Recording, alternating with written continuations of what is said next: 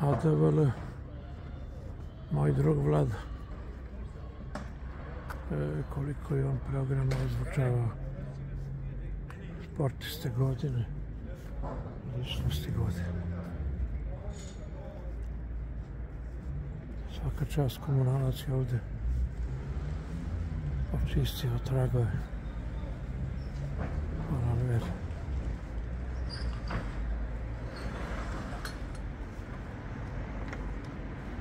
ADVL. I na trgu je sve čisto tu i tamo. Tragovi od petardi, ali nije strašno.